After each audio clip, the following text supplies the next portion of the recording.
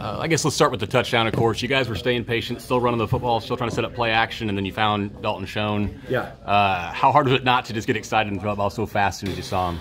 Uh, honestly, those are the hardest throws. Um, he was so wide open. That's why I put some air and made just um, made sure that he, he gave him a chance to catch it. You know, I felt like I missed another wide open one beginning of the game. They got a roughing it passer call, but same one with Blaze. It was just like it was so wide open. I kind of just pushed the ball and aimed it and just overthrew it a little bit. But man, I I I'm I didn't lost I'm a lost for words.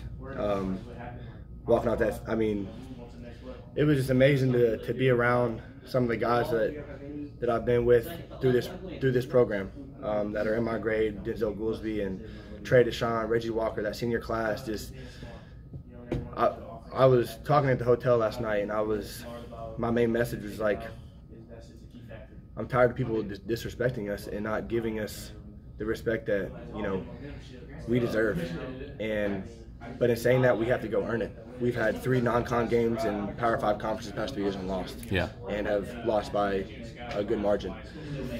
And I was, I was like, it's time to to put Kansas State back on the map. And I feel like this is, was a great opportunity for us. And I knew I had so much confidence going into this game that we could win. I believed, our whole team believed. Um, whenever we were down, we faced some adversity, had some turnovers on some special teams, and just some things not go our way. Nobody panicked. Nobody panicked. We rallied together. We came together as one.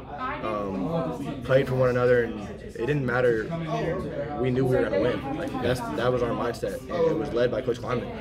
Um, he told us on Monday we're going to go beat this team, and nobody's giving us a chance. Nobody's, you know, talking about come from North Dakota State. Have you guys ever coached on this type of level before? That like that stuff is just white noise, you know. And we knew that we just got to we needed to have a great week of practice and come out here and execute. And I feel like for the most part we did today. Um, we were kind of there in the second half, not on the field very often. We had a three and out, and they had a long drive that went and scored.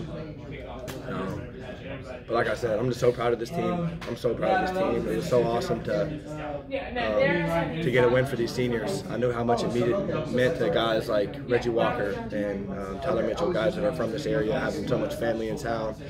Um, and I was I was playing for those guys, playing for those guys, and oh man, I'm just I'm thankful. I'm so so thankful and blessed. Came a long way.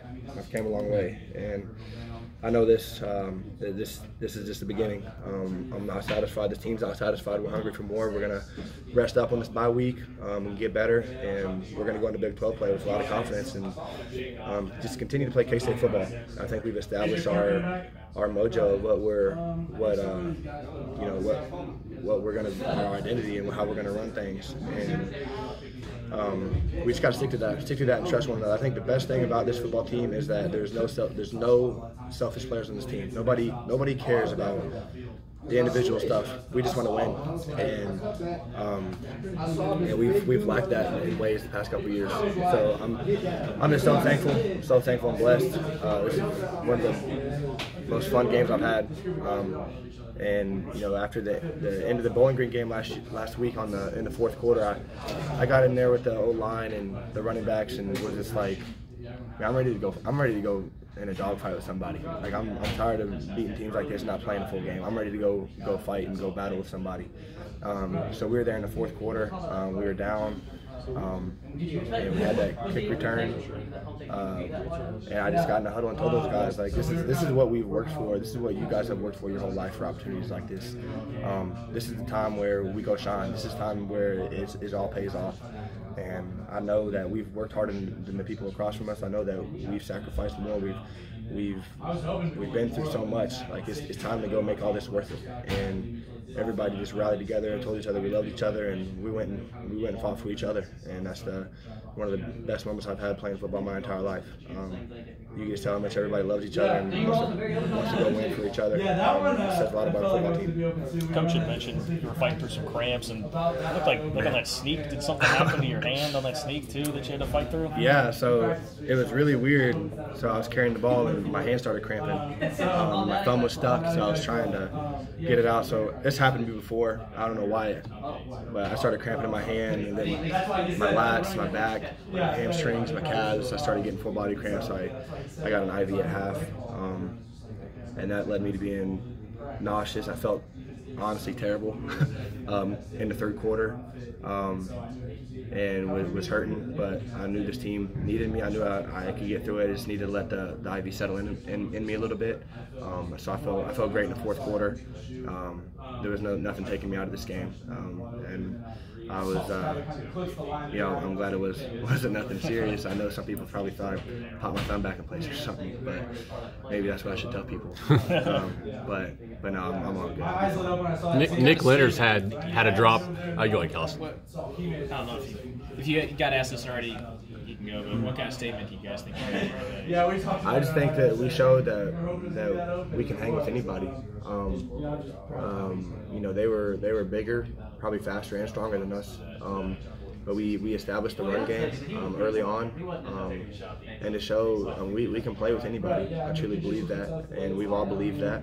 Um, it was just time to go show the world and um, the country what, what we could do, and that we could do that. And um, it was just so much fun to go out there today and just play play for my teammates and play for these coaches and uh, this K-State community and fan base. Uh, think that's that's what it came down to. We knew um, coming down in here that it was going to be about us, and we were going to go in 65,000, and and it was going to be it was going to come down to us and it, how we how we stuck together and played together and uh, play for one another. And I was just so proud of this team and how we did that.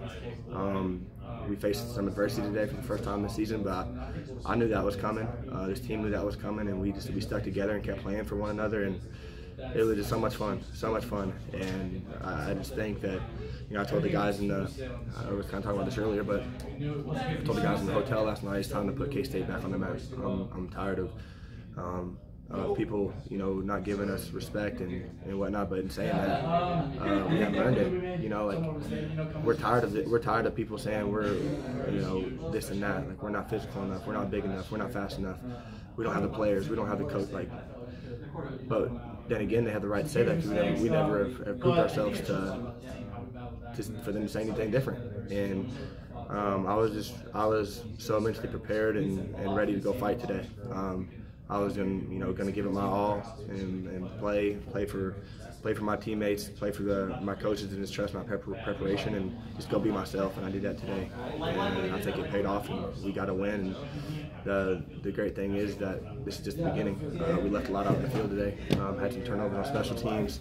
Um, you know, AJ's uh, pick, you know, turning that over there was just a lot of a lot of things that you know didn't go our way necessarily. So um, it was good to see our team fight through that and, and stick together. Um, and now we got we got some momentum going into Big 12 play, and I think that's huge. Um, we've got another road game coming up against Oklahoma State, who's a great football team. Um, it's just going to be about us these next couple weeks and just getting getting better, getting healthy. Um, it's not being satisfying. What are your memories of Malik Knowles' kick return? Like, where were you when you saw it? How did you react? What'd you say? Like, just try to remember that play and walk me through what all happened there. Yeah, well, we were just in need of a we were we were in need of some momentum of some type. Right. We needed we needed a big play. We needed to go score. Um, that was a huge possession of the game. Um, so whenever he got loose into that first line, I mean, I was just yelling, just yelling for him to go. I thought he was going to get caught there for a second, right. just from my angle that I was at.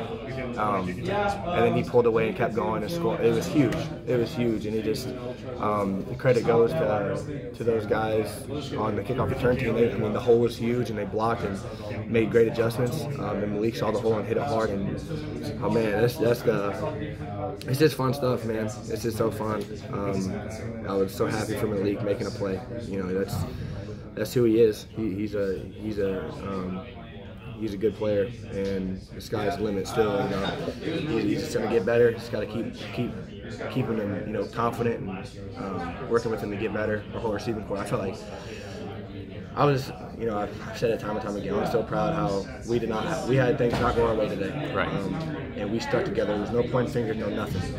And we stuck together. And that's that's, that's what um, great teams do. Um, and we're still we're still growing and, and molding together. Like that's what's awesome. This is game three. We're still early on in the season, but uh, it feels great to be 3 0. I'll tell you that.